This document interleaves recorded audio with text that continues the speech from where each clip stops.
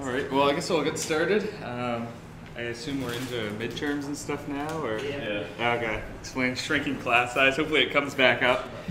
Uh, so this lecture, uh, I'll be talking a little bit about navigational techniques you can use in your robot. So this is going to cover quite a few, um, quite a few different things. It'll be kind of a quick overview. So uh, the lab on Monday, you'll experiment a bit with one of these sensors.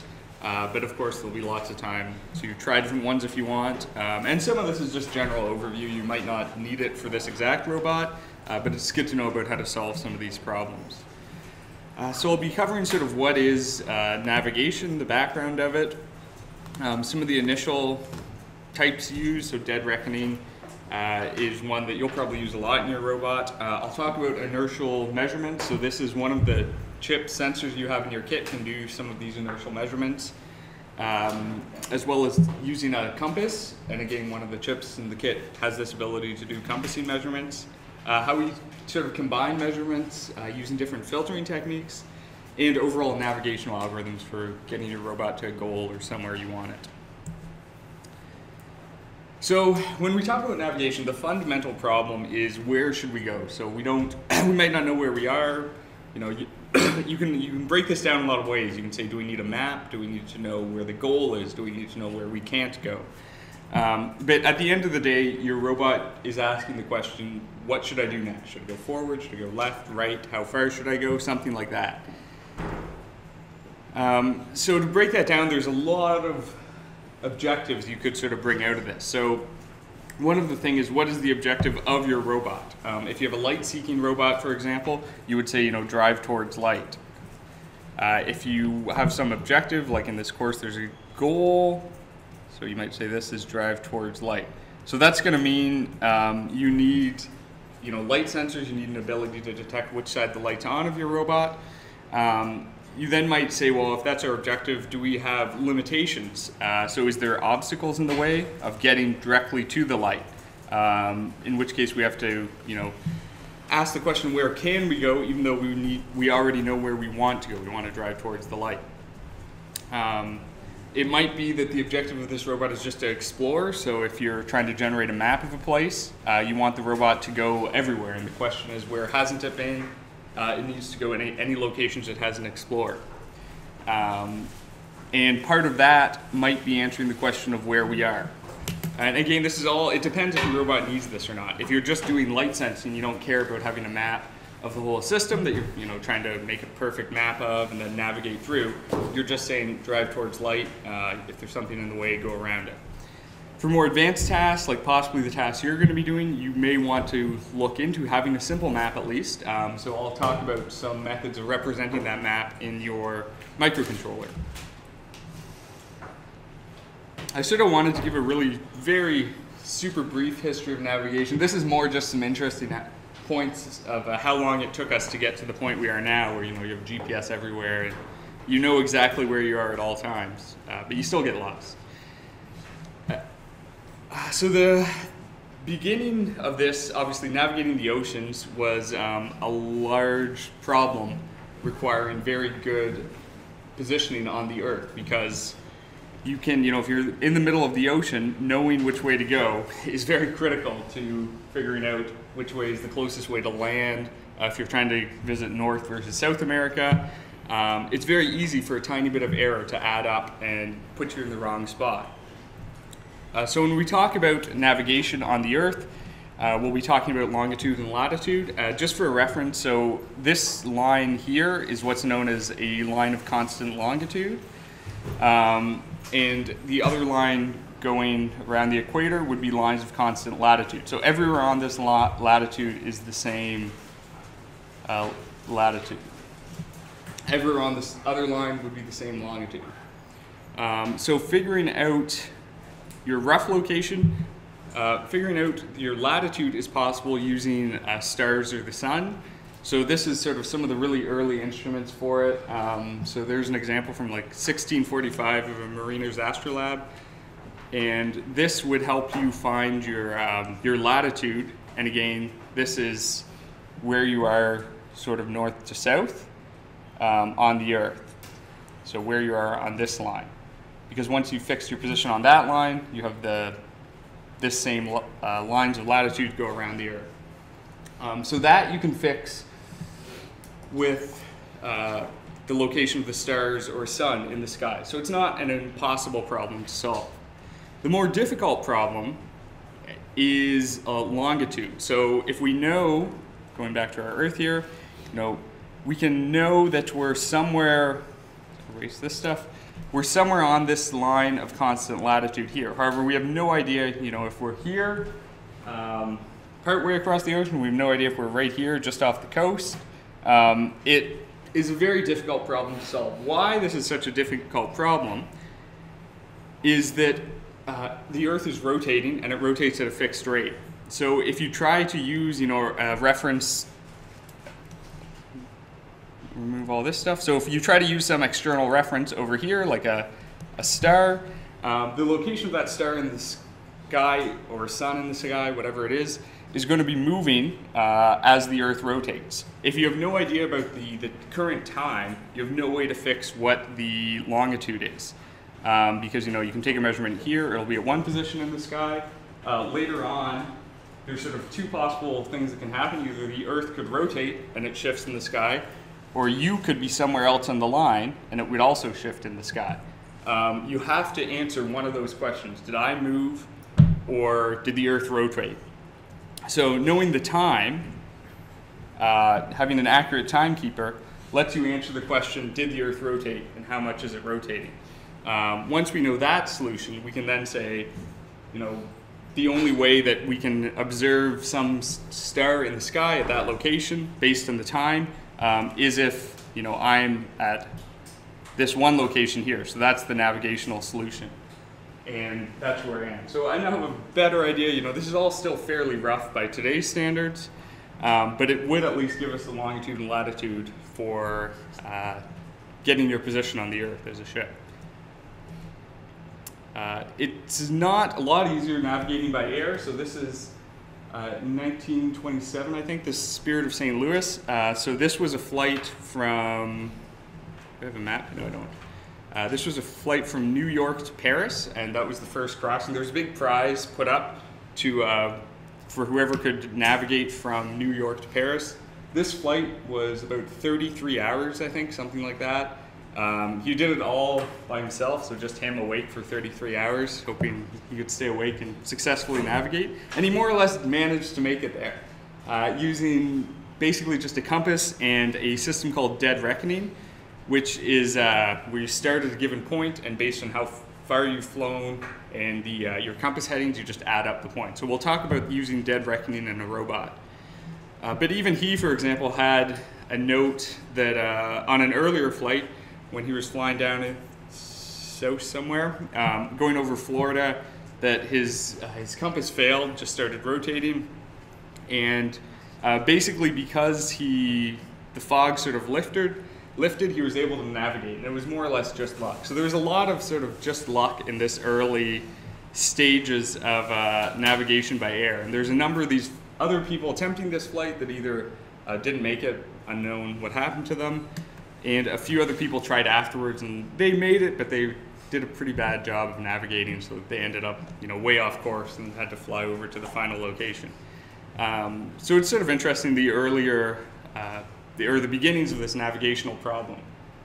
Uh, and then nowadays, of course, we have GPS, which makes it a lot easier to get a fix anywhere in the world.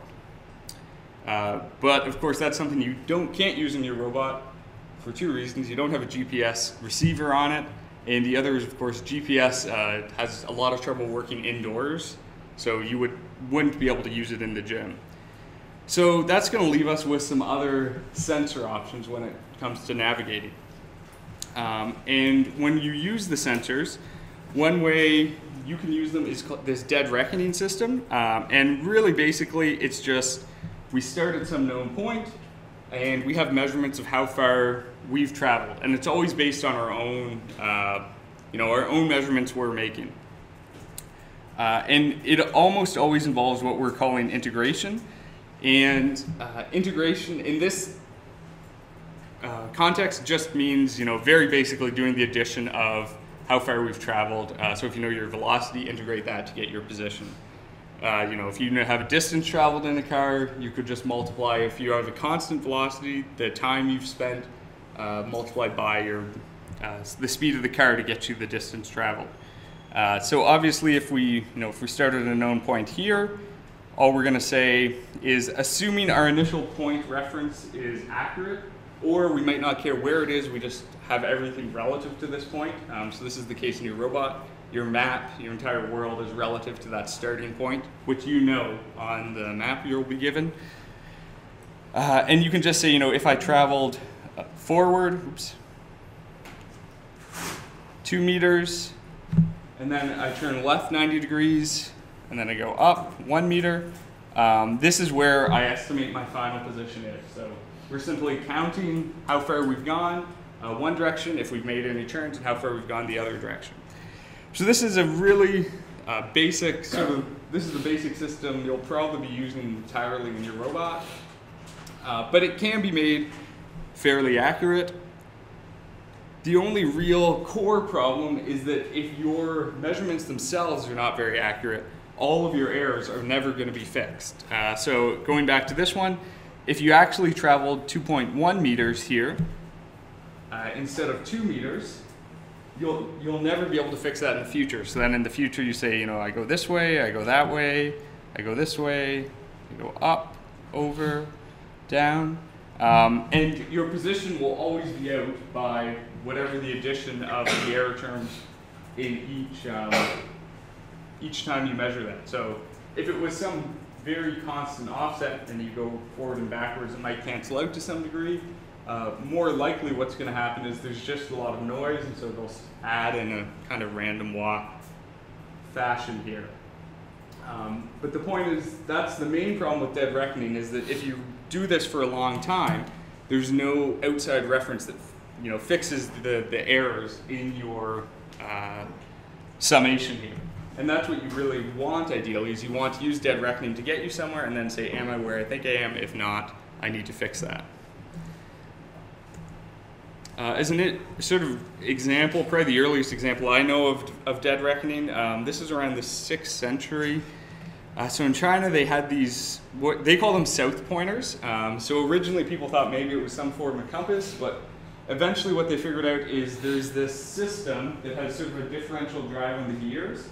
Uh, and it's designed such that if they started out pointing south, um, which they would do just using the sun, anytime you rotate this chariot, it'll do the opposite rotation on the, uh, the pointer, and they would literally just take this with them on long trips. And if it's cloudy out or foggy, they know where south is still based on where the, this guy is pointing. And uh, of course, this is going to add a lot of it's all this you know mechanical system going over roads where things can slip. Uh, so over long trips, I'm sure became inaccurate, but they could always recalibrate it once they saw the sun again. Uh, but this is sort of the earliest example I know of of something using dead reckoning for this type of navigational problem. Uh, so it's been well known that you can do this type of thing for a long time. Um, but sometimes it's really the only solution. So before there was a lot of knowledge about magnetic compasses, uh, this was what they came up with, and it's the best they could get at the time. So on your, your robot, I briefly mentioned this on last Thursday, I think. The main method of doing dead reckoning will be these wheel encoder systems. Um, so there's a, oops, you're given these uh, IR infrared transmitter receiver slots. Um, so there's an LED in one side here. I don't know which side it is. And then the phototransistor on this side.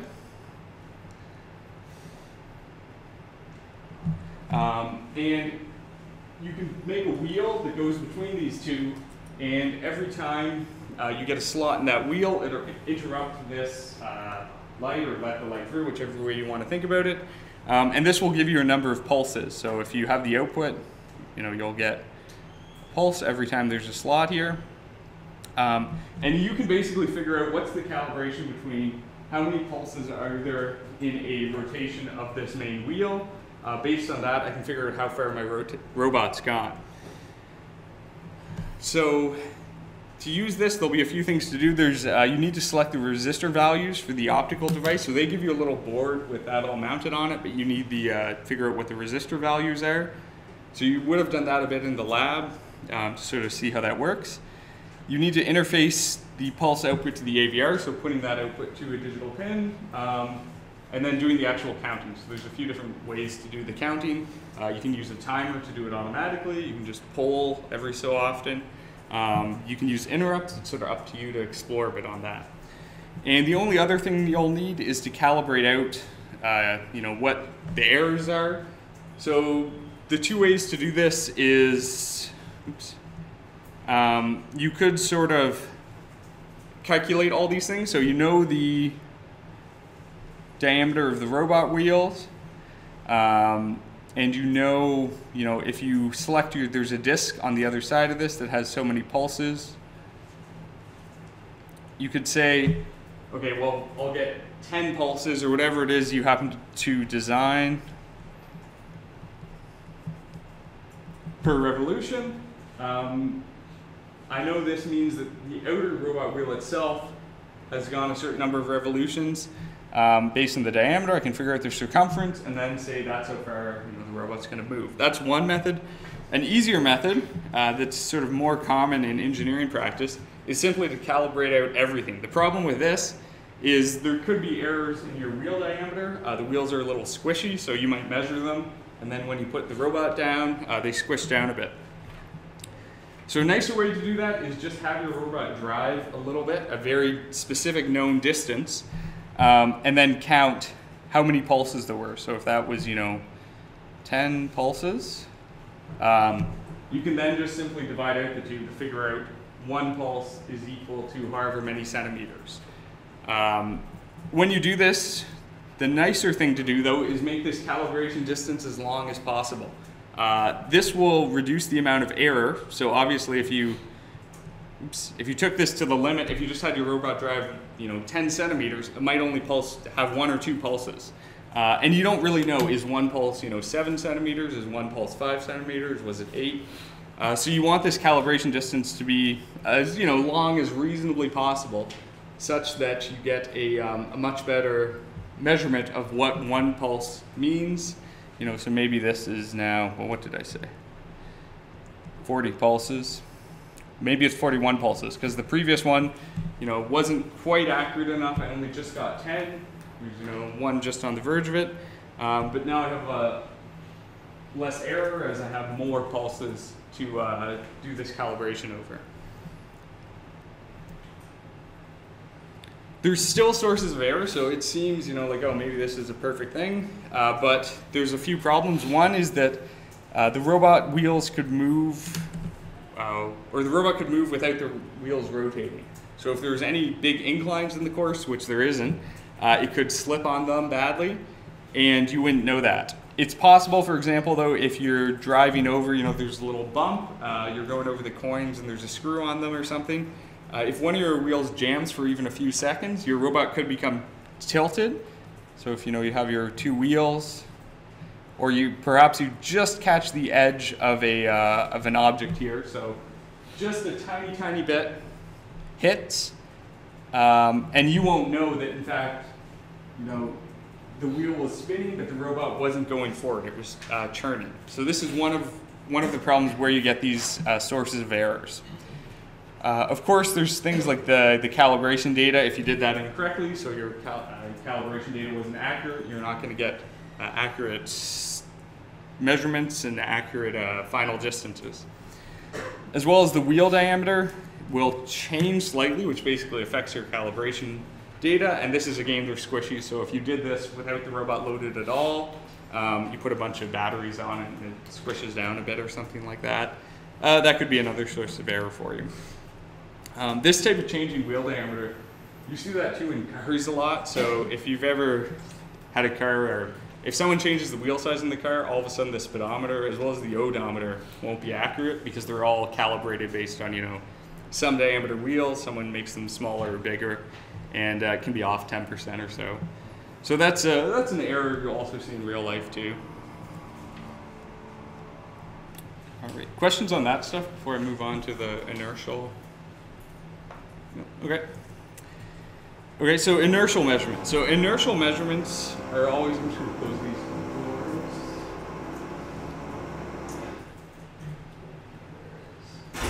Uh, so inertial measurements are measurements that we feel we have no external reference for. Um, so there are forces that we have a system that doesn't, you know, isn't looking at external landmarks or using external signals to figure out where we are.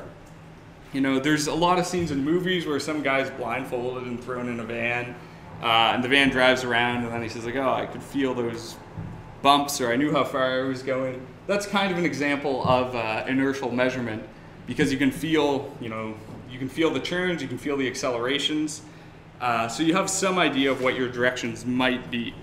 Now, this obviously in real life isn't very accurate. Uh, so instead, we use two types of uh, measurement systems. And to use these, uh, we use we do two things. We either measure acceleration uh, is one, and angular velocity will be the other.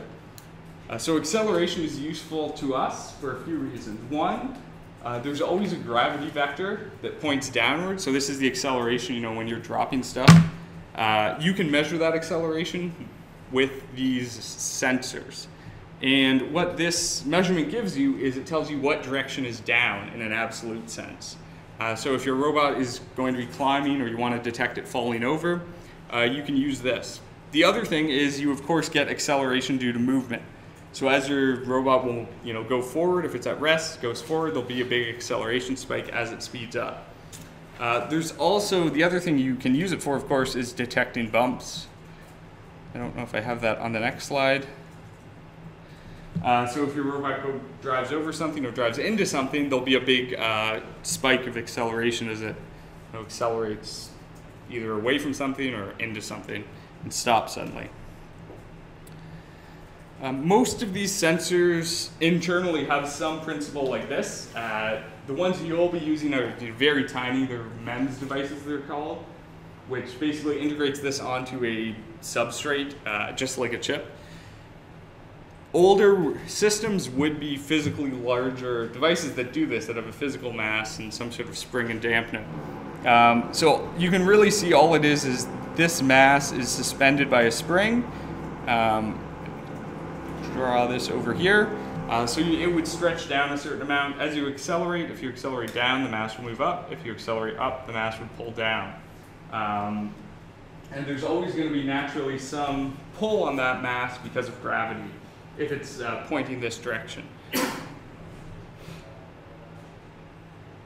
So that would just be a one-axis accelerometer that's measuring, uh, you know, only up or down, or whatever direction it's facing. Uh, in your kit, we have what are called three-axis accelerometers. Um, the, depending how you define the axes is somewhat up to you. In your case, your accelerometer has a definition uh, that you can look in the data sheet that says this is what I call Z, this is what I call X, this is what I call Y. Um, so in this example here, if you were holding your phone, you know, so it looks as it, as it does, um, normally there would be, you know, this negative 9.8 meter per second squared in the Y direction. Um, and this is because they've defined Y to be down. More common is Z would be down. Again, it depends how you rotate it. Um, and then if you move your phone, you know, forward or backwards, you get a Z plus or Z minus or X plus or X minus acceleration. Uh, when, when we tilt the device, we start to see a mapping of the gravity vector. I don't think I show that. So uh, what this means is that if we have our idea of the phone, um, let me just switch to this.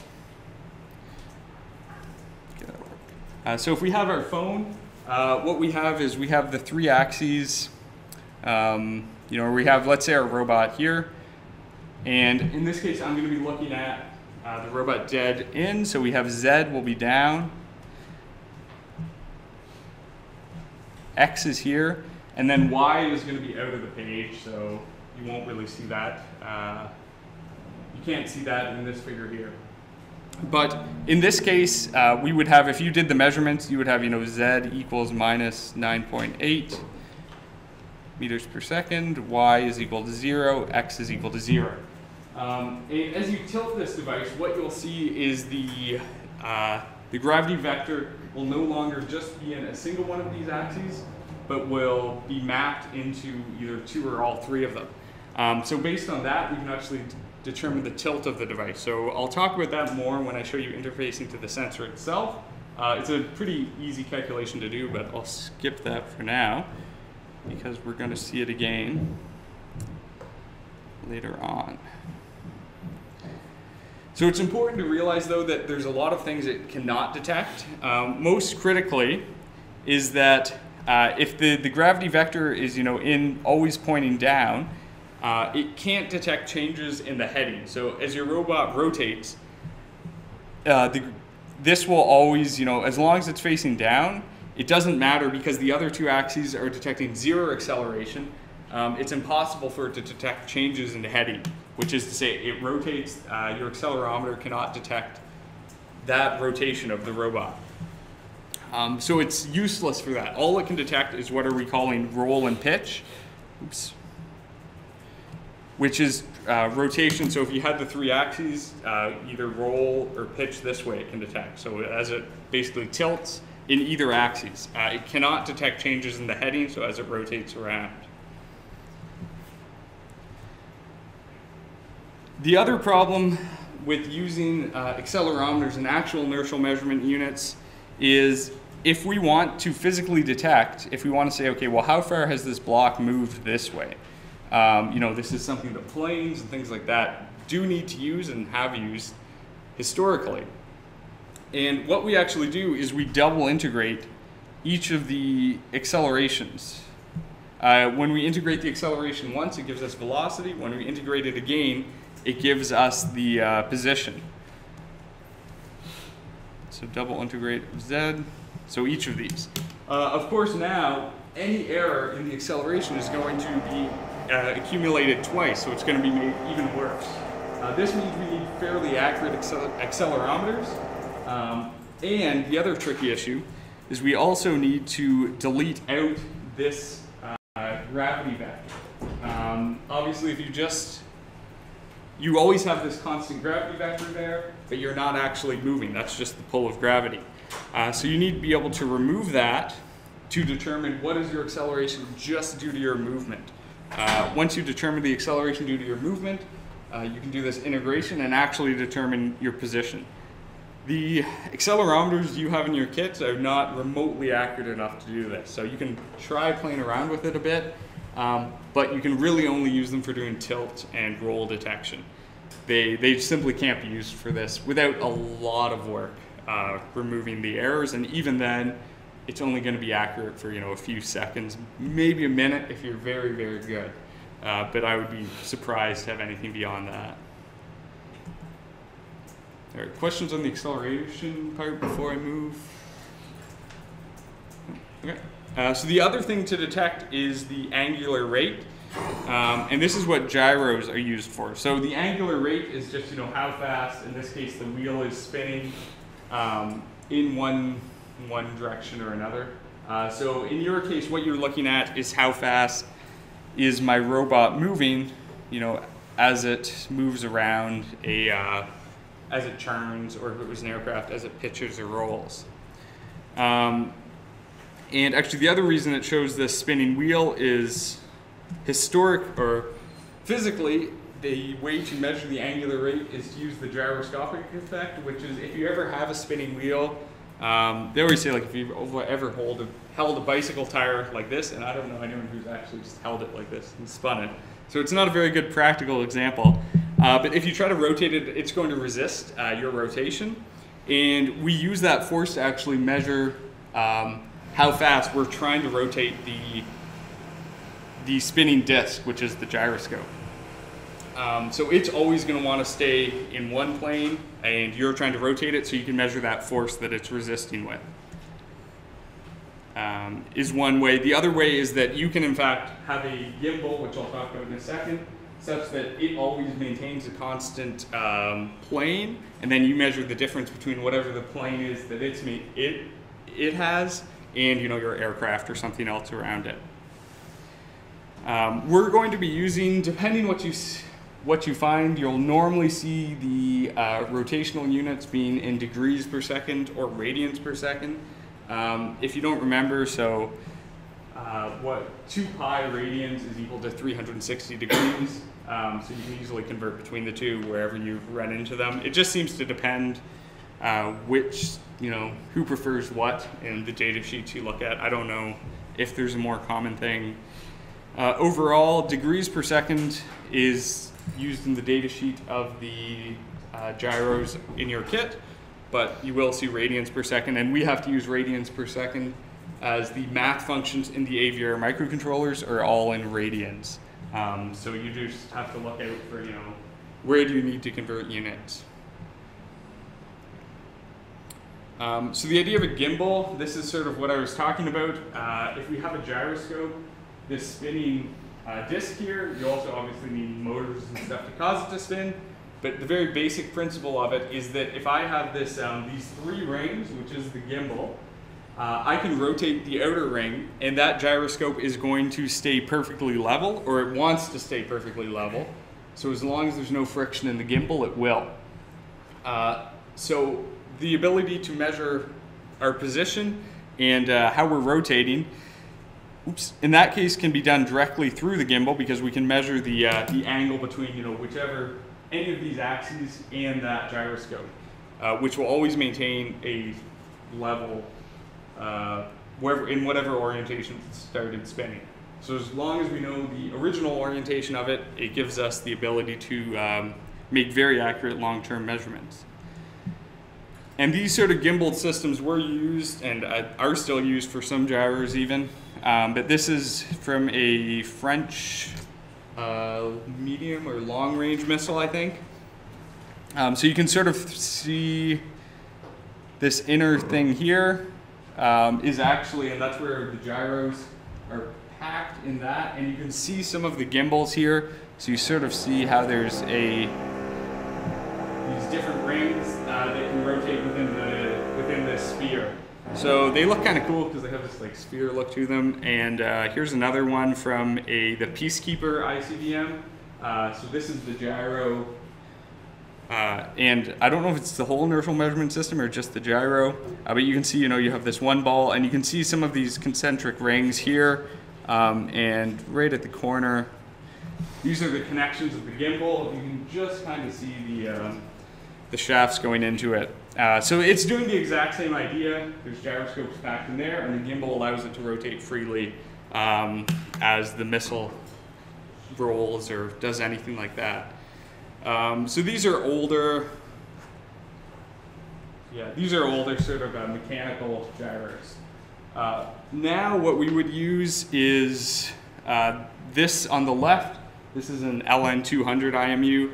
Um, so in here, these are fiber optic coils, and it's what's called a fiber optic gyro, and it actually uses that um, to determine, and there's three of them, you can only see two of them here, but one for each axis uh, to determine the rotational rate. So this is uh, something, you know, this is the same thing as that little board you have. So this is in your kit. Um, this, you know, has three gyros and three accelerometers. Um, this also has three gyros and three accelerometers. So there's some differences between the two.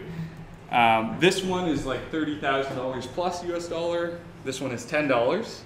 Um, one of them I can just buy off like eBay and AliExpress. One of them I can't. And uh, one of them I would go to jail if I took across the border because it's controlled goods. And the reason it's controlled goods is they use these, you can use these in missiles. Uh, so they're more than accurate enough to keep very accurate long-term, um, you know, over hours or days even. To do this sort of, I talk about this double integration here. Um, they're accurate enough that even when you do this double integration, uh, you can still maintain, you know, a few meters, tens of meters of accuracy of your position using only changes in acceleration. Um, and same thing for angular rate, using, you know, only changes in angular rate, I'm able to integrate it and accurately determine where I am in the world. Um, so to compare the spec sheets, they say, for example, the gyro uh, is going to drift about one to three degrees per hour. Um, so that means that if I have it sitting here on my desk and you know it's rotating around in any axis I want, um, at the end of that, my the accuracy will be about one degree. You know, if I've done this for an hour, done this integration, um, I'll be more or less right within one degree. Uh, you can compare that to the, so your, your little device here um, says the initial tolerance on the zero rate, so zero rate being it's not moving, and it says it is moving, so that gives you some idea of the error, is around 20 degrees per second. Um, so in one second, it might be 20 degrees off in where it says it is in the world. Uh, you can calibrate, so you can use some uh, information to calibrate this out to improve the heading quite a bit. But at the end of the day, after about you know 30 seconds or so, uh, your heading is going to be so far off that it's almost useless. And this is the problem with these small uh, MEMS devices is that they are much more difficult to get accurate information out of. You basically can't use them alone. So the, this inertial measurement system here uh, could be used alone to guide something to whatever the target is. Um, this basically cannot be used on its own. And when I say on its own, I mean without uh, fixing the information ever so often. In real life, this means you know fixing it by getting GPS fixes to uh, correct your measurements. Uh, it could be you use landmarks. So in your course, you'll have the ability to um, detect certain landmarks and say, okay, I know where I actually am, so let me fix my measurements. Um, and when, so I talked earlier about the, I don't know where that was. Um, there's differences, you know, you just have to look in the spec sheet for what the uh, axes definitions are. So on the spec sheet here somewhere, it tells you, you know, if you take your gyro uh, slash accelerometer um, and you rotate it in one direction, so if I rotate it this way, um, it's going to read that as a positive y uh, gyro movement. Uh, so we'll sort of see that. I'll play around with one here um, after the lecture so you can get an idea of what the measurements look like. Um, and yeah, I'll skip the example of the readings because I don't have a USB hub, so I have to unplug the microphone. So when you're giving the readings, one thing I mentioned is that we can um, we can calculate what the the pitch and roll is uh, of the device. So to do this, this is sort of an idea of what the, the C code would look like. Um, and it's actually pretty straightforward. So let me to show you where these come from. Um, so I'll take a copy of that.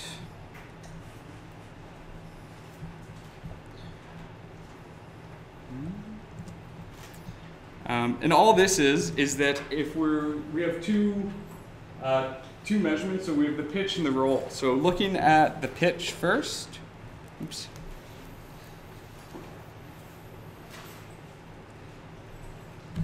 Uh, all we're doing is we're, we're saying, well, a few things. First of all, um, we have our three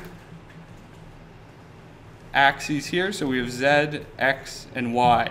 Um, and I have these variable y squared, acceleration, and z squared. So we can consider, I'll just call it z accel, y accel, x accel. Um, so we know a few things. We know that if there is no acceleration in the y and z, um, then we're entirely pointed straight up. So if the only if the vector is entirely in the z-axis, um, really it would be negative. Let me switch the color here.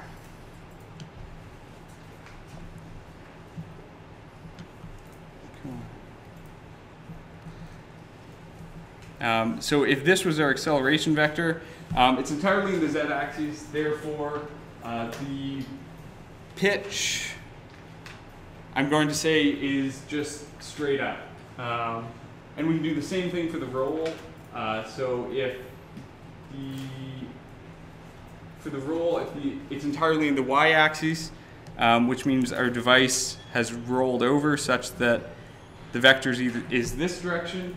Um, we would know that it's entirely, you know, directly on its side because we've gone from this and we've gone 90 degrees to the ground.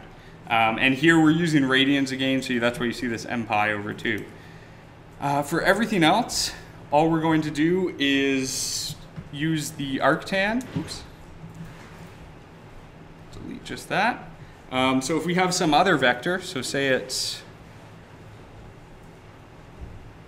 like this, and this vector is going to be a combination of, you know, it could be entirely in one direction, um, it could be more likely is that involves come on. More likely is that uh, it involves a combination of x and y. Redraw this here Hmm. okay so y, z. See that? Um, and if I get a vector somewhere,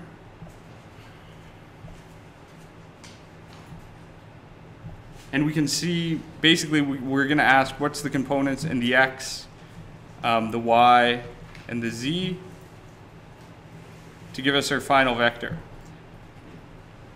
Um, and then it's these angles that we're going to solve for within this. Um, so we can basically solve for a combination of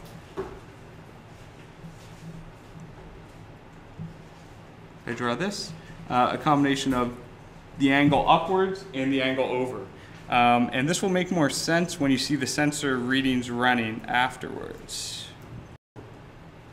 Because you'll be able to see um, where, how it affects each of the X, Y, and Z.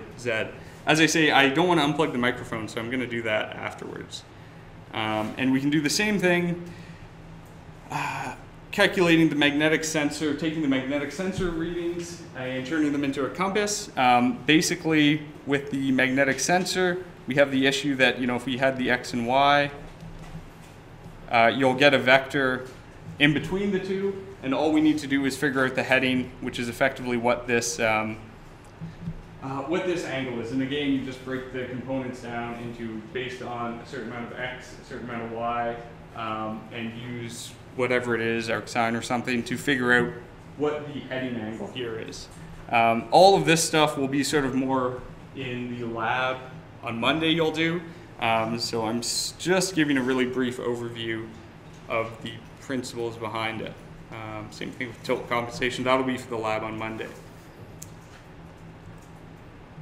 So I'll skip that. Um, so the other method you can use with your, your robot is landmark-based navigation. Uh, landmark-based navigation is where you simply say, I know where I am um, based on some you know reference that I can view. Uh, so if you're on Spring Garden Road, you could say, hey, there's the new library. Um, I know where I am. I don't have a you know a GPS. I don't have a map. I don't have anything like that. Um, and this is a, this can be really useful for your robot because you have, somewhere, where is it? You know, you have a map of the course and there's various things you could say you, I want to use as landmarks.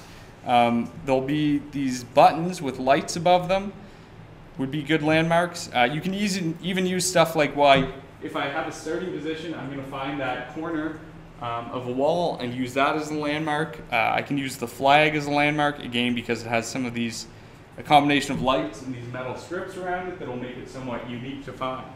Um, any of these landmarks are just a way to uh, fix yourself within a map. Um, yeah, so using the landmarks in your robot, um, it might be that you just drive right to it and you know exactly where you are. Uh, alternatively, you can measure the distance to the landmark. So if I have a landmark here, a robot here.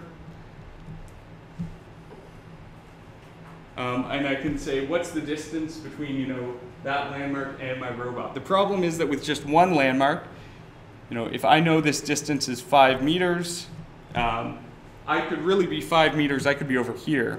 Uh, if there's no directional ability and say, well, actually, this would also be a solution. Uh, so to improve that, you would need a second landmark Um, with the second landmark, you could say, you know, I'm five meters to this landmark, and three meters to this landmark. Um, in that case, you only have two possible solutions. So it's also possible that you're over here, uh, is the other issue. So you have one landmark, uh, two landmarks, and it gives you the two solutions. To solve that, you either need a third landmark. Um, so you could act then say, I'm also, you know, one meter from this landmark, and we had that five meters still, three meters. Um, in that case, there's an additional circle, and there's the intersection of all three circles. There's only one solution to. Uh, the other, that's sort of one way to solve it. The other way to solve it is just to disregard one of these two solutions. Um, so if I start here, you know, if I knew I started up here um, and then drove a certain distance, I could say, well, I know I'm at this solution to the problem, and I can throw away the other one. Um, or it could be the other solution is outside of the course, so you can throw that away. But if you want to use landmark-based navigation, you should have two to sort of get yourself a fix if you're doing a distance-based solution.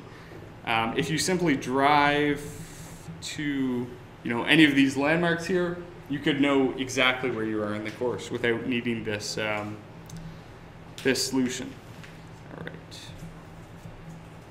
combining measurements. So The other thing uh, that you can use, and this combining of measurements goes back a little bit to these uh, inertial navigational systems. Um, uh, here, so these inertial nav systems, as I mentioned, have a combination of, of gyroscopes and accelerometers that you can't see in them. Um, and we might want to combine that with a GPS type system. Uh, and what this is called is this whole field is known as state estimation. Um, and we have an example. So say the state is the position of car. Uh, and we want to know where is the car in the world. Um, and we have several different uh, systems on a car. So we have inertial. Um, and we, it's very fast, we could say. You can read the, the, this inertial system basically as fast as you want, you know, thousands of times per second. Um, but it has long-term drift. So the longer we run it, uh, the worse it gets. Over very short periods of times, over a few seconds, it's extremely accurate. Possibly over a few minutes, it's fairly accurate. Um, over hours or days, it's not accurate at all. Um, GPS, by comparison, is slower. Uh, it has short-term drift, but over the long term, it's extremely accurate. So it doesn't matter if you've run your GPS for you know one hour or 20 hours. Uh, the position fix is going to be basically the same accuracy. Um, and we may also have something else like a speedometer, which you know is accurate for speed only. Uh, so it's the problem is a few things. One, the, the different sensors are giving us different uh, types of readings. So the inertial sensors are giving us acceleration. Uh, the speedometer is giving us speed. The GPS is giving us actual position, and they all have different error terms. Uh, so how do you optimally combine these types of, of systems? Uh, one way is to use a Kalman filter. Uh, this is just a form of state estimation. All of these state estimation systems basically use uh, two steps. There's a prediction step, uh, which predicts a new state. And what this means is that if I have my car, um, I can say, you know, I commanded it to drive at 20 miles an hour for four seconds. Uh, I can estimate, well, based on that, I know what the new position should be without any sensors at all. Um, so if it was here, I now estimate it's going to be over here. Um, and I know this estimate isn't perfect. There's going to be errors involved in that. Uh, and this this move, movement of the device, you know, you can set it up basically as a a matrix that says, you know, based on either the speed that I'm commanding, uh, the speed and, the time, I know how, what the new position is. Um, and the position will be one of the things that we can directly measure.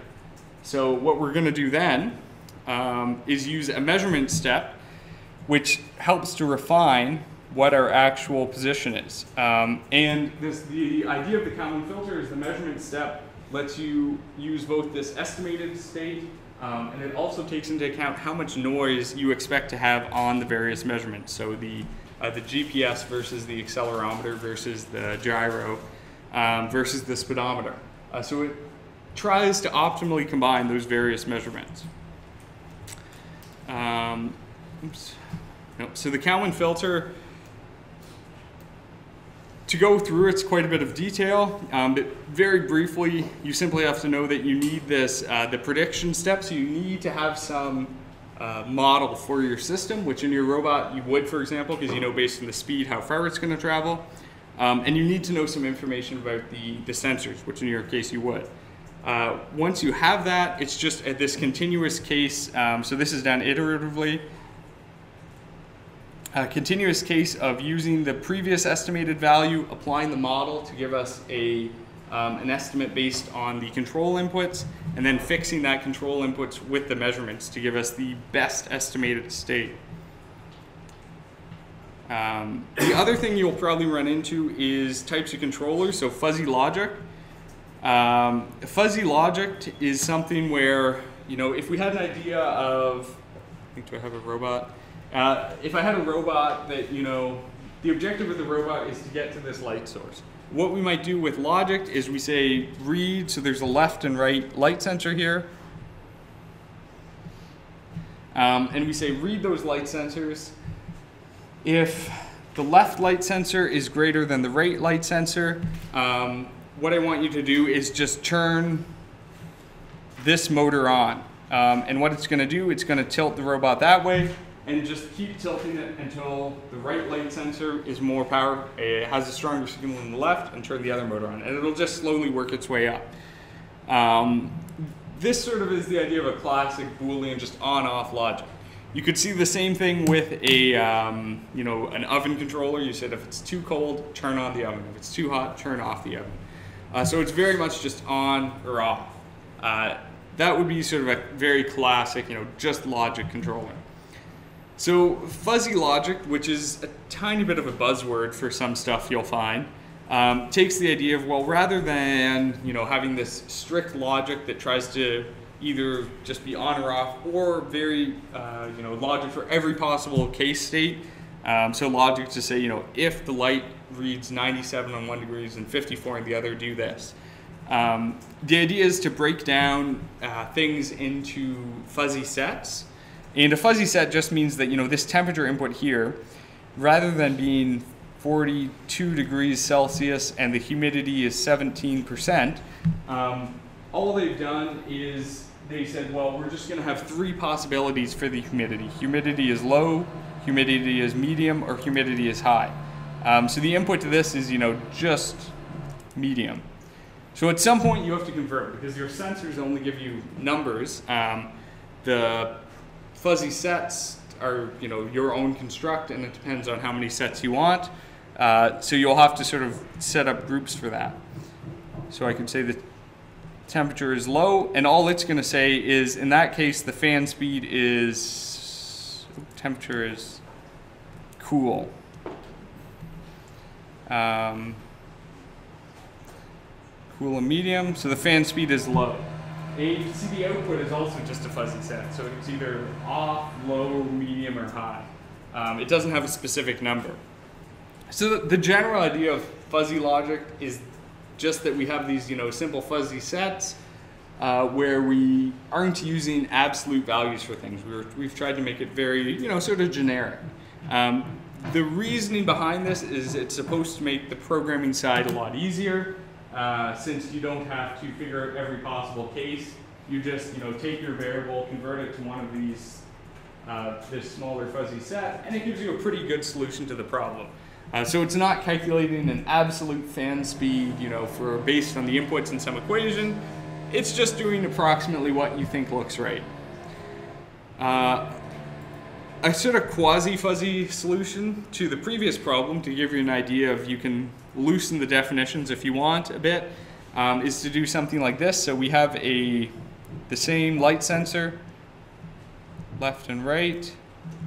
Um, and all we're going to do is we're going to take the, for example, the right light sensor, um, and it might be that you need to, to take this value if it's between, you know, 1 and 255, and we're going to cut it down to be a smaller range of 0 to 16 or something. Uh, and we're just going to multiply it by some arbitrary constant. And whatever the output of that is, we're just going to feed into the, um, into the motor controller. So if the light on the left side is very bright, so if there's a lot of light going in, it's going to turn on the motor on the right side at a higher power. Um, and that's going to drive the robot towards the light. So this is a little nicer because with this solution, the motors were going to be continually turning on and off. It's very jerky. It's going to drive, stop, drive, stop, drive, stop. Um, with something like this, it's going to be a much more fluid movement towards the final light source. Uh, you don't, you know, A, the code itself has been made simpler, um, and B, it'll just sort of slowly inch its way towards that light source. You don't have this problem of, you know, jerking, uh, turning on and off so suddenly. Turning on and off very suddenly, of course, in your little robot, the problem might be it might knock, you know, boards off it every time it stops if you have some stuff hastily mounted on, um, it could knock it off. So you may want to look towards using uh, what I call these quasi-fuzzy solutions. Uh, I say quasi-fuzzy because there's no fuzzy sets defined within them, um, so it's not a true fuzzy fuzzy solution. I'm sure people would argue. Uh, but the basic idea is that rather than making very well-defined logical choices, um, we're sort of you know, using these these constants to say, well, take the reading. If the reading's high, make the motor go fast. If the reading's low, make the motor go slow. Um, so it's the mindset of the fuzzy problem. The interesting thing with that is we can also do stuff like even adding touch sensors right into this. Um, so say we have the same thing, we have these left and right um, light sensors. Uh, we also are going to have bumpers, so we can detect if we run into a. So these would be have little switches in them, and those could be pieces of metal. So the idea is that if we hit a bumper anywhere, um, if we run into something that's going to activate the switch on the left or right side. Uh, if we activate the switch on the left side, for example,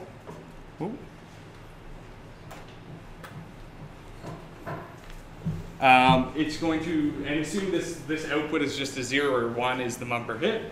Um, it's going to put this minus 100, which is going to force the left motor to drive backwards. And you know, we've done this without any real logic uh, in this entire solution. So it's still, you know, uh, it's still going to have a, a, bit of a a uh, bit of a positive offset that the, this minus 100 will overcome uh, in this, you know, right if there's a light sensor. Uh, so this is where we get into the point that it's not a, you know, a true logical solution here. We've just sort of, you know, fudged things such that it'll mostly work and you would need a time delay such that it actually continues to drive back um, after the bumper's hit. Uh, but this sort of solution to a problem lets you avoid using you know very well-defined logic and instead use this idea of well I'm just going to take rough uh, measurements and you know if there's a, a bumper hit I'm going to drive back a bit. Um, not some specific speed because the speed will depend on the inputs. Um, and this is sort of the idea of the the fuzzy the fuzzy controller is that again we're we're trying to remove very structured logic and just give it this idea of you know if there's a bit of light drive faster. If I hit something drive back um, so that's the general idea that you might find useful in fuzzy controllers. Um, there's also a, there's, what are they called? I forget if they call it a fuzzy compiler or something, but this JFuzzy logic, uh, it's basically a GUI that you can set up fuzzy sets in and play around a bit with. So if you're interested in them, you can download that. Um, it's you know a pretty good resource and it has a lot of examples of true fuzzy logic controllers, but it might give you some more ideas as well. Um, another thing you may run into ever so often is uh, neural networks. Um, so, what are neural networks? They're basically a form of pattern recognition. Um, pattern recognition being we have some input, oops, we have some known input uh, and we have some known output. So, for example, people try to use these for sort of like magical things, you know, the stock market, how some stock's doing, and if it's a sunny day, and I'm trying to correlate if there's a pattern between the two. Um, the idea being that you just give the neural network combinations of inputs and outputs, um, and it learns any pattern if there's any associated pattern between the two. Um, you have no idea if there is, you don't understand what it's looking at. You just push it all to the neural network to figure this out. Uh, there's sort of a few caveats here. You, you know, they're not magic. There has to be an underlying pattern. Uh, so you can't use them for lottery number prediction uh, or stock number prediction, which is they were really popular because people thought they would be magic more or less, and they fell out of favor because they didn't do that well. Um, basically, for this reason, uh, it also requires a very diverse training set, which is to say that if you have a model of a system, using a neural network is not a good idea. Um, if you already know, you know, there's there is a correlation between A and B, and I have a rough idea what it is.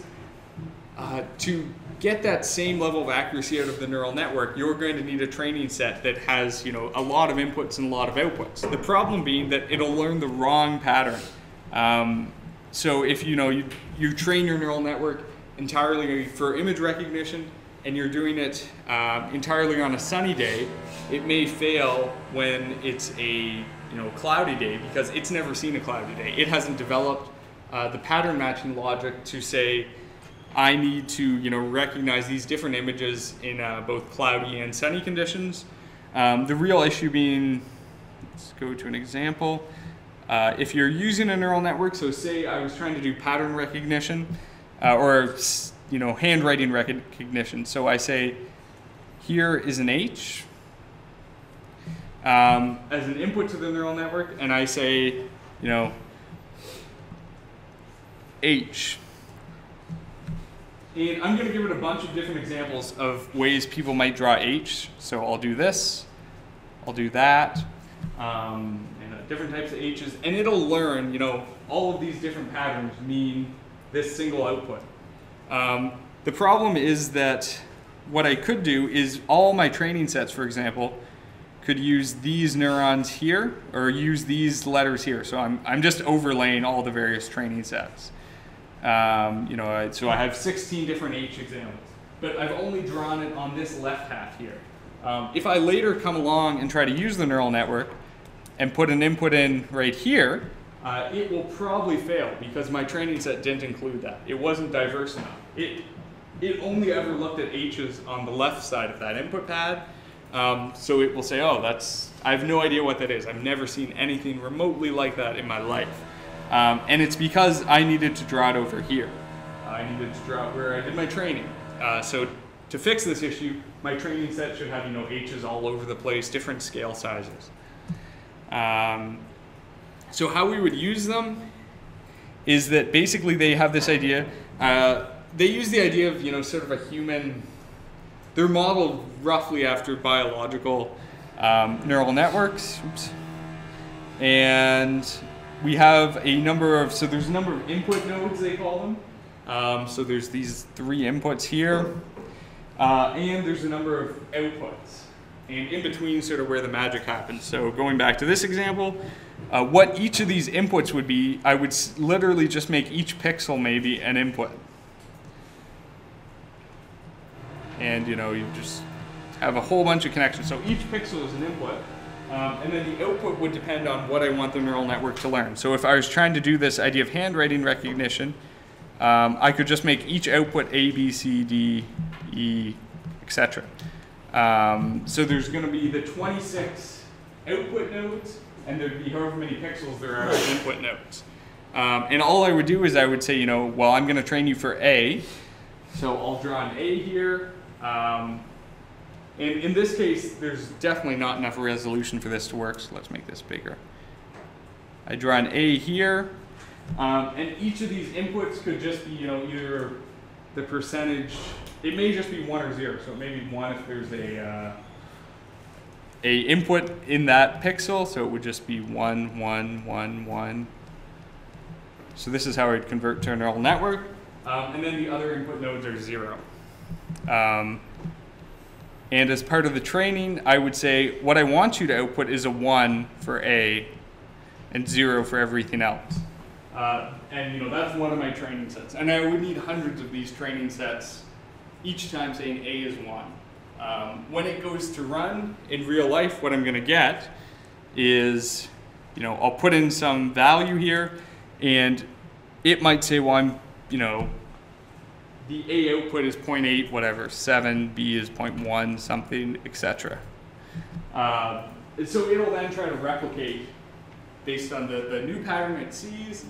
Um, it'll try to replicate that training set I gave it where I said make A as high as possible, everything else as low as possible. So that's the general idea behind what neural networks are doing. Um, and as I say, they have this idea that we have input nodes. So in the, that previous example, each input node was a pixel.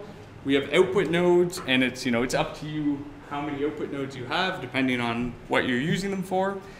Um, and in between, we have what are called these hidden nodes. And these hidden nodes are just interconnections between all of the inputs and all of the outputs. And there can be multiple layers of hidden nodes, you know, to get thousands of neurons if you want, um, or more. So, but, and they work fairly well. So this was sort of an example from a project I did. So I had a hovercraft, and I was experimenting with using a neural network to drive it around. Uh, so hovercrafts are somewhat more interesting because, you know, if you want to turn, you have to try turning ahead a little bit um, because they're slow to do the turn. It's not like a robot where you just say turn and it immediately reacts. Um, and in this case, the the hovercraft itself, it was, I believe this was a neural network here. Um, so it just had this this very simple neural network, and uh, this neural network had as an input. I think do I show a photo? Yeah, uh, as an input, it had distance, which is distance to the obstacle uh, in front of it, and that was just using a uh, ultrasonic transducer there.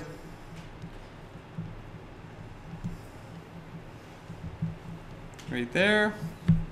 Um, as well as having two outputs, uh, and the outputs were just propulsion speed and uh, how much to churn. So one of these was speed, and one of them was churn.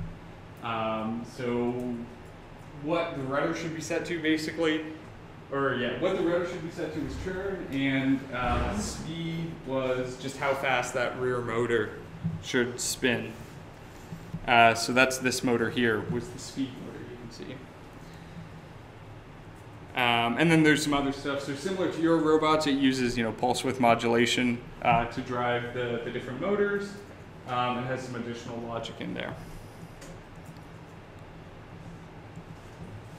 Yeah, so how the neural network actually works is each of these connections between the different nodes has an associated weight with it. Um, here, and this weight, you know, is just some number, 0.127127, something like that. Um, and all it does is each neuron uh, does a combination of a summation of all the inputs and, passing an activation function. Now, if these are the weights, one, two, seven, six, I'm just making up numbers here. Um, and you could just say it is like that's weight one, weight two, weight three. Um, so this summation is just a sum of the input input i with weight i. Um, and the input just being whatever that other other node's value was. back here. Uh, so that's, you know, this distance measurement is just propagated to each of these intermediate nodes. Um, then the output of the intermediate nodes is propagated to the, the output node, and it does that summation um, again, applying the weight to each path in the branch. Uh, the other thing it does, and this is sort of what makes the neural network really work, is there's some activation function, they call it. Um, the activation function oops, is basically just a nonlinear function. Um, normally, anyway, they, they work the best. So there's a variety of options here. You can use linear. Um, I use this logistic function, which is just uh, exponent, uh, as you can see here. So it gives you this output, uh, approximate output. So this is the input here, and the output on the y-axis. Um, and this is what gives you the, basically the entire neural network is this really simple summation of the input, the activation function, and then propagates it on the outputs.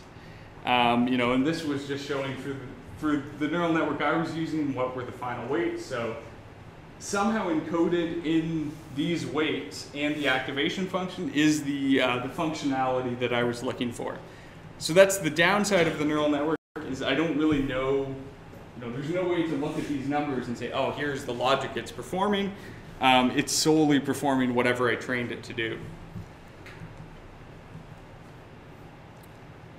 Uh, now, as the training example, um, here, this is what I use to tell the neural network, here's, you know, here's how I want you to respond. Um, so this was pulled directly from the training file, so it looks a little crazy, but there's basically a distance here um, and in this case, the distance is relative. Uh, so it says, and ignore the first row, um, it says, you know, if the object is really far away, um, so this point one, oops, then the speed is at a maximum because we have quite a bit of time. Um, or no, actually, if the distance is very close, point one, uh, very close to us, the speed is the highest speed you can go, and the turn is the furthest over. For a hovercraft, you would need that to do the fastest turn. Um, compared to, for example, if the object is very far away, I, I feel like these are backwards. The churn should be here, I think. If the object is very far away, so this is churn and then this is speed. Uh, if the object is very far away, so I have a 1 on the distance column, um, I don't want you to churn at all, so I have 0 on the, the amount to churn. Um, and the speed is, you know, 0.9, so I'm going pretty fast. Uh, and in between, there's just various other examples. So if, as the object gets closer, uh, I might do a slower turn here and slow the speed down a bit so I don't slam into it. So I have some pattern that I've figured out that I want it to, to do. Um, and this is solely the example I give it. So I just give it these numbers here, um, and then I can use it for any other input value I want. So if I now give it an input of 0.45, um, it will figure out what to do. And you know, it's not simply just interpolating between the two. In this case, maybe that would work. Um, but it's looking for if there's any underlying pattern. So this is a really simple example of the use of a neural network, you know, a very small neural network, something that you can easily run in your microcontroller uh, to solve a simple problem of figuring out, you know, how fast should I run a motor and uh, how much should I turn it. Uh, and that was done, the nice thing is I didn't really need uh, to write down a whole bunch of logic saying, no, if this, do this, if this, do this. Once I set this up, um, I can simply run the training algorithm. So the training's done offline. Uh, what the training does is it simply fiddles with all those weight values. Um, so it's going to adjust all these weight values, and this just runs in your computer uh, until the, the neural network gives you the desired outputs for these inputs that you've told it about. Uh, once it's locked those weight values in, you just download them and run with it. Um, so again, I don't need to know how it's figuring out what to do here. I just tell it, tell it the results I want, and it does all the rest. Um, so that's sort of sort of the interesting thing about the neural network. And of course, you can add additional logic on. In this example, you notice the churn is simply a magnitude. Uh, there's no negatives or anything like that here. So to make things simple, all I did was a separate piece of logic says, should, I turn left or right? Um, I was using this solely for controlling the speed and the uh, the turn servo uh, magnitude, and then the directions done with other logic. Which I think is shown somewhere. Um, yeah, so there's churn detection logic, it calls it. It just says, should I go left or right based on where there's an opening. All right, so that's another thing you could use. Um, we're still good. So that's all logic for figuring out, you know, uh, how should I actually control the motor based on some inputs.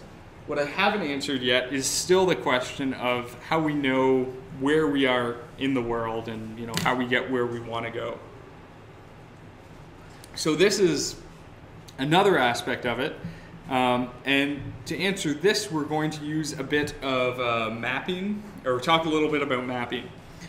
Uh, so to talk about mapping, you'd have to understand how can I represent this map in the robot and make it use it. So I've given you this map here, um, and what we can do is we can look at just a corner of it. So you could say, you know, I know my robot's starting here, and I want it to be able to find its way to the goal while also remembering not to run into obstacles or stuff like that. Um, you know, so you could just do this reactively where you say, well, I'm going to look for the tape border and whenever there's tape here, I'm just not going to drive over it, which is good. That's a good technique. Um, but you may want more than that. You may want to have some idea of what the best path is.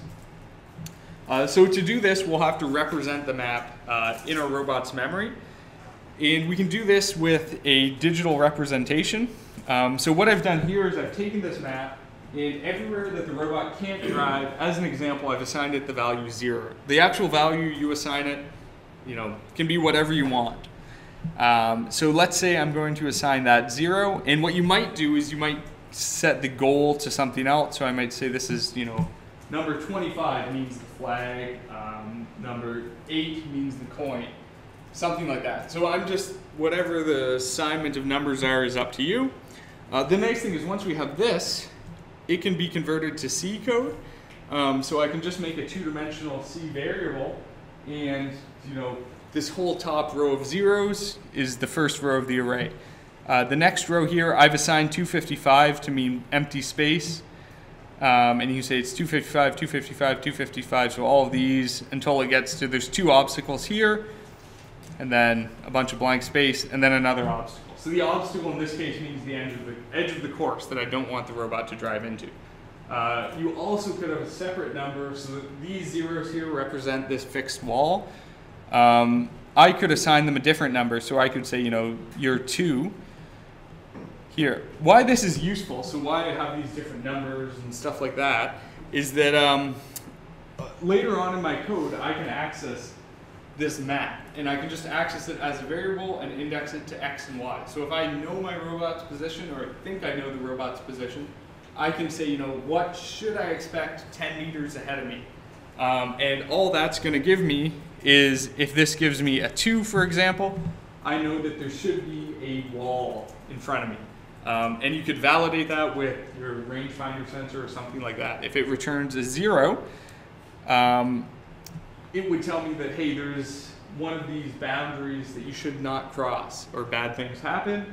Uh, so you, you don't want to drive towards it. You don't want to waste time driving towards it, detecting it and say, oh crap, drive backwards, turn, go forward. Um, the fastest way to navigate the course will be to use a map uh, to figure out where to go uh, within the course and not simply you know drive around and run in it, run into things or detect things that you shouldn't uh, be running over. So one algorithm you can use is what's called the wavefront algorithm.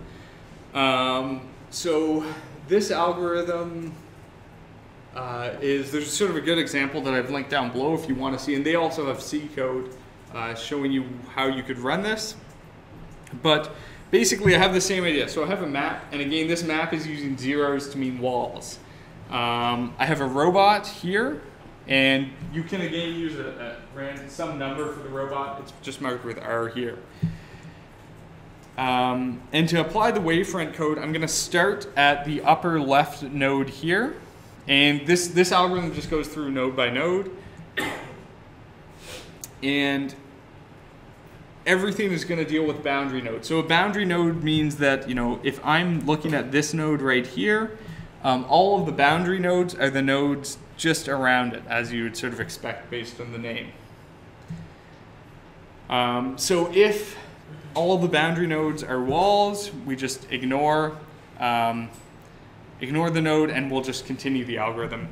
Um, and if the boundary node is the robot location and has a number assigned to it, it means we will have found our path. And you'll sort of see what all this means when I go through the example. Um, if the boundary node has a goal, we're going to mark that node with the number 3. So this is where the numbers come in. And then we'll continue the algorithm.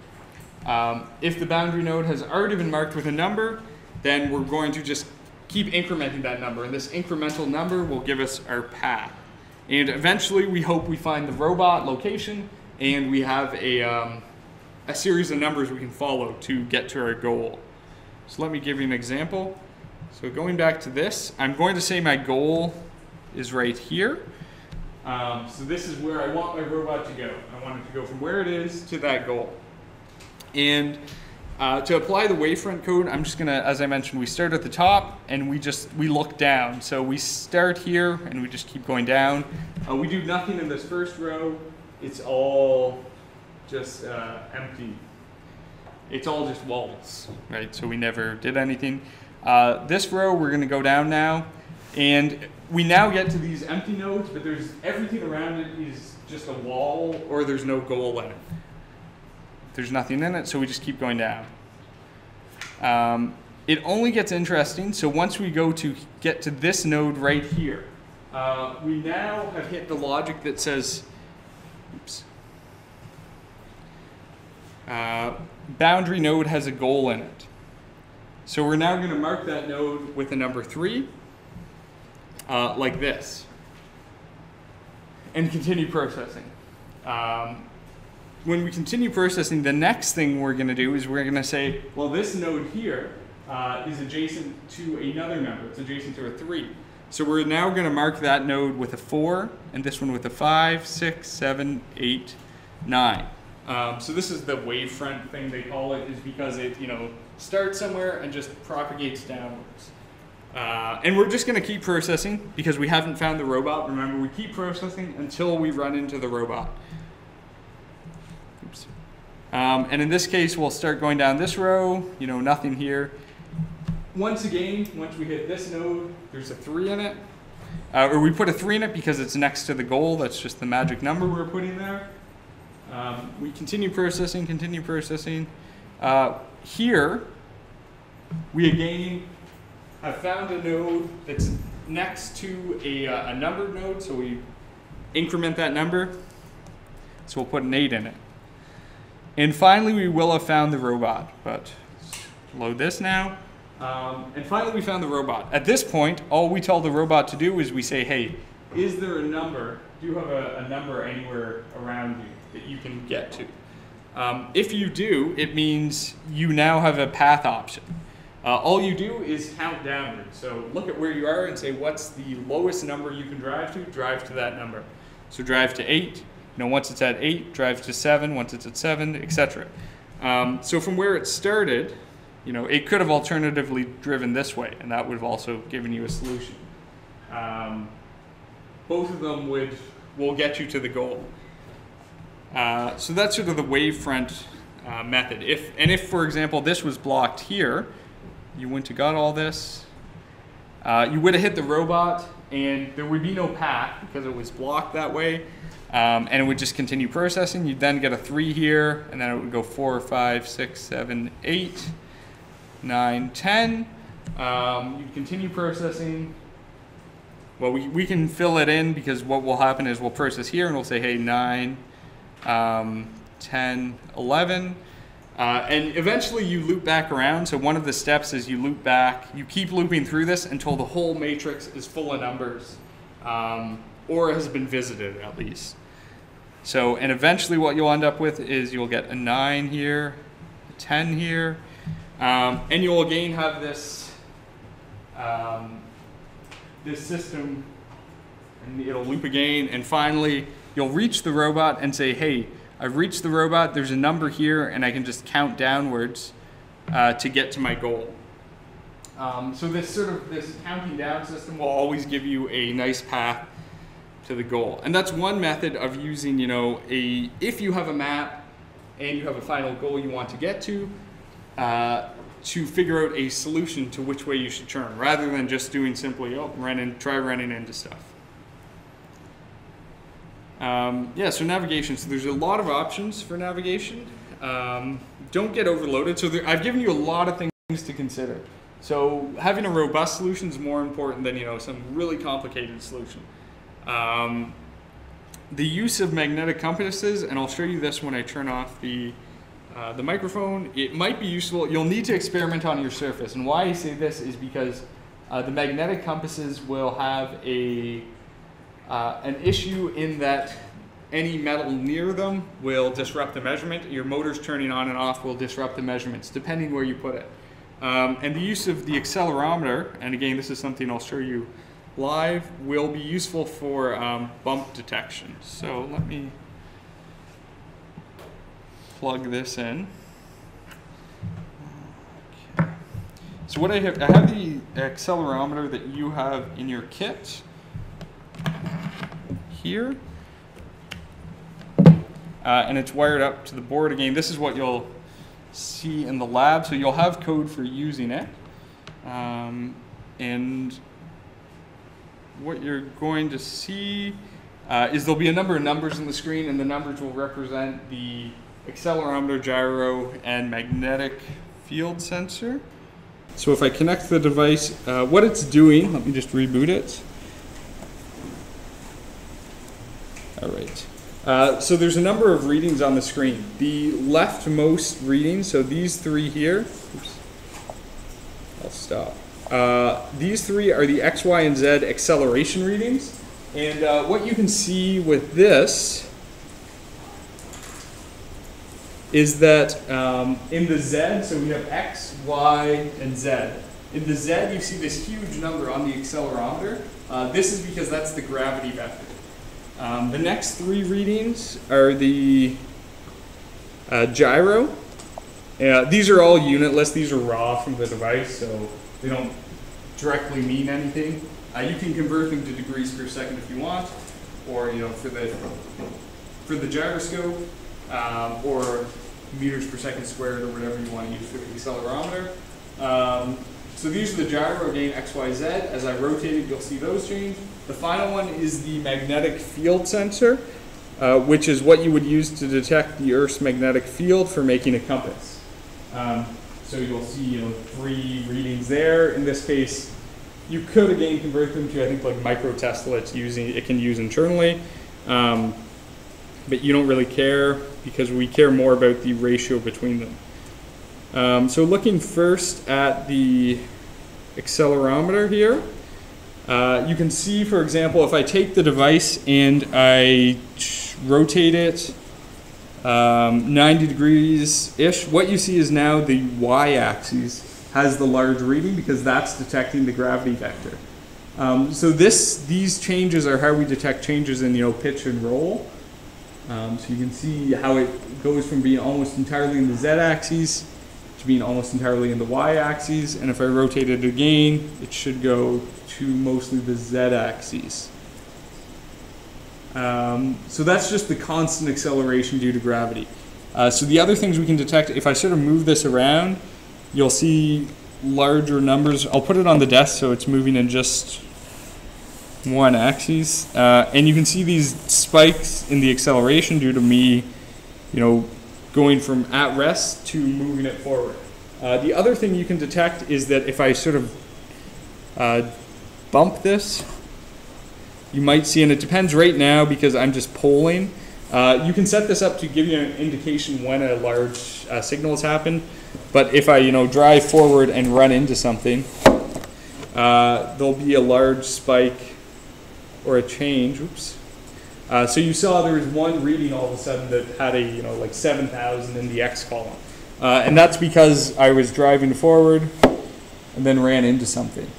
Uh, so again, in this case, because you can see that plus 4,000, because I'm just polling this ever so often, it's very easy for me to miss uh, these readings. I should either pull it faster. This is only every 500 milliseconds. Um, done that way just to make it easier for you to uh, you to see them come by when you're running this uh, in your device. You don't need to worry about uh, you know being able to print it like that. You can just use the raw readings. All right. So that's the accelerometer. Uh, the gyro. So again, we have x, y, z, and it's in between the hash signs. Uh, so you have to sort of ignore the other stuff as I spin the device,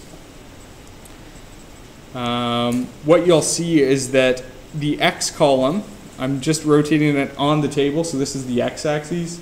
Uh, you can see it's you go going negative something. If I rotate it the other way, it goes positive some larger number. And I can do this faster or slower.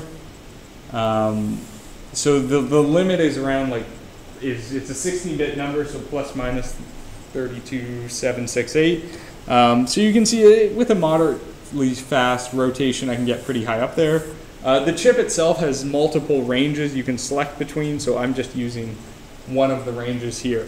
Um, but you can use this to detect, you know, is your robot actually rotating? And I can move this up and down. So as I rotate it around in free space, you can see all of the axes changing. Um, the final thing is the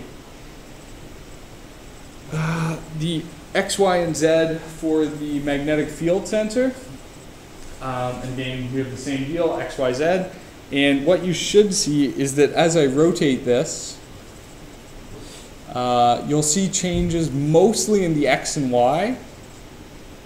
And this is as the uh, the magnetic field vector is changing between, so what we're seeing happen is uh, we have the you know, we have the x here, y, um, and we have a magnetic field vector that is some constant. Um, so the magnetic field vector is constant. Our x and y axes are actually rotating uh, because our, our robot's rotating. And uh, we see different amounts of this vector projected onto the, you know, if the x-axis was in line with the field, it will be entirely in the x direction. If the y-axis was in line with the uh, magnetic field, it would be entirely in the y direction. And I might be able to get that. Come on.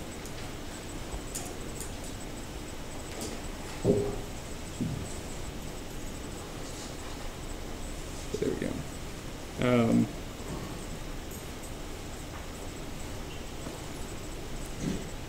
Yeah, so you can see, let's see if I can rotate this the right way. Uh, so if you rotate it the right way, at some point, oh, there we're getting close. Uh, it's going to be entirely in one axis. Um, and if I rotate it about 90 degrees, what I would expect to see, that's about 90 degrees, um, is the reading will change It's sort of hard to get it. So you can see previously in the, uh, the y-axis it's around zero. And then if I rotate it the vicinity of 90 degrees, uh, the y-axis now becomes a much larger uh, component of it. And I can go about 180 from that. And we should start to see it decrease again. Um, so it takes a little playing around with the sensor as well as the configuration of it. Uh, the one issue, and so this is what I should have mentioned, is if I just have it sitting here if I bring something metal, so I'll use my mouse. Whoop, that wasn't a good idea. Uh, if I bring a, you know, this large metal microphone near the sensor, uh, what you'll see is the readings will probably start to go a little crazier. Um, I don't know how close we'll have to get. So there you can see the uh, the readings have changed drastically. You know, it went from uh, you know, it's varying around 5 or 12 um, up to like 20 in the z-axis, uh, depending how close I get here. 47, 41. So metal is going to affect it drastically because it's uh, the magnetic field is being deformed as the metal gets near it.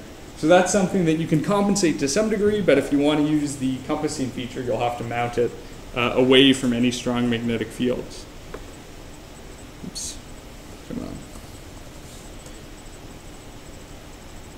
Right, so I think that was sort of the, uh, the other demo I wanted to show you. Are there any questions on either the sensor or the navigational stuff? Um, as I mentioned, the lab on Monday and the lecture Monday will talk a little bit more um, about details of using that. Three yet. Uh, if you haven't done the first, the first problem is asking you to write a C program uh, to generate some frequency of square wave uh, on port B pin for the development board. Um, so how do we do this? And it tells you what timer to use. Um, and I just wanted to give you an idea of where these frequencies come from and how you um, uh, how you deal with that. So the the first thing it's it's talking about is this idea of a prescaler, um, and what this is looking at is if you look in your AVR data sheet, um, timer counter zero. Uh, so the timer block itself um, takes a, where is it? Uh, so it takes the clock from the external clock source and divides it down by some amount. Um, and there's a lot of options you can use here. So let's go back. Uh, and if you look down, eventually it'll talk about the configuration of the timer. Um, I talk a little bit about this. The lab I reference will go through, you know, how you actually set all this stuff but I want to give you an idea of what the heck it is. Um, so if you look through, eventually it'll have a list of the prescaler settings. Just close this stuff. Oh no.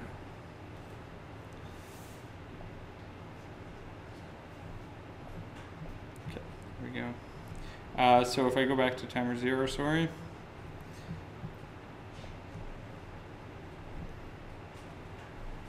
Um, and it talks a bit about the clock sources. Uh, and it says you can take it from a prescaler. So what those settings are is down in the register setting somewhere. Um, it has all these, come on.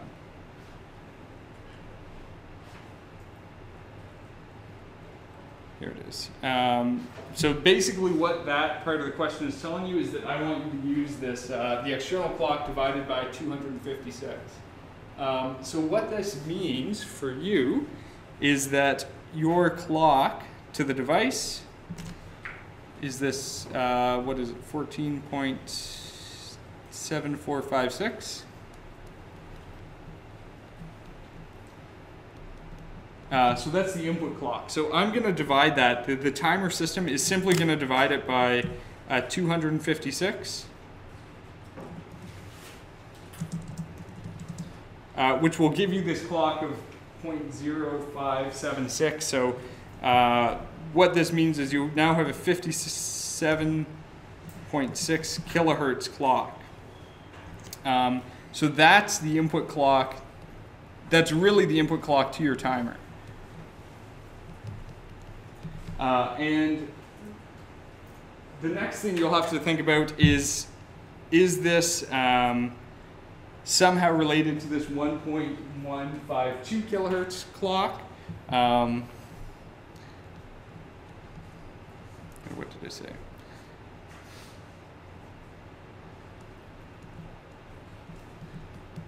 So I now want you to use this, this 57.6 kilohertz clock to generate you know, some other arbitrary frequency I've defined here. Um, and, oops, I don't need that, do I? And you can ask yourself, you know, what's the relation here?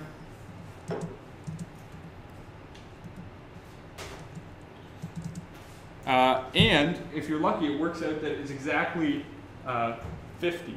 So you'll be able to use uh, some of the timer functions to further divide that down. And what this is really going to be is that um, we have this, you know, this 57.6 kilohertz clock, or let me go down here.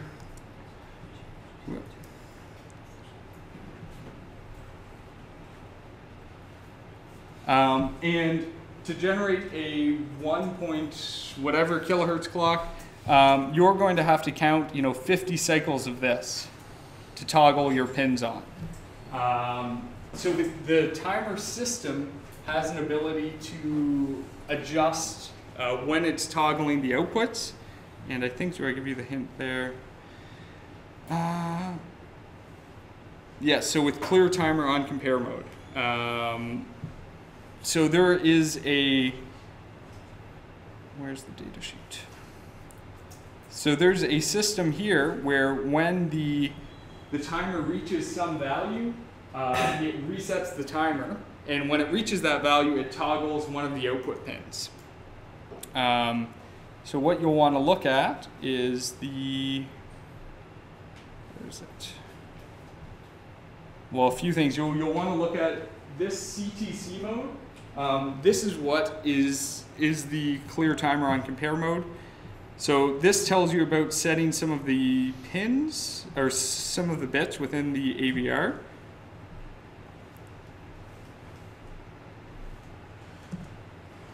Here. Um, and what it's telling you is that if you set some of these bits up as given in this table, um, the timer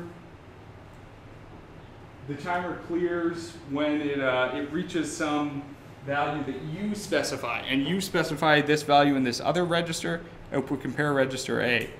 Um, so this is where you have to write, you know, when I talk about, okay, well, every 50 clocks or every 25 clocks or whatever it is, you figure it out, um, the timer clears, and when it clears, it's just going to toggle a pin.